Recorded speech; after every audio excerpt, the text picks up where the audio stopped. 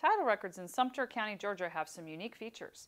First, Sumter County is in a primarily non-judicial state, so that foreclosures are handled by the private sector.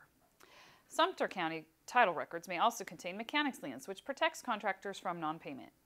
Mechanics liens typically last for 12 months, although they may be able to be extended. Some of the land and title records for Sumter County are at the P.O. Box 333 location in Americus.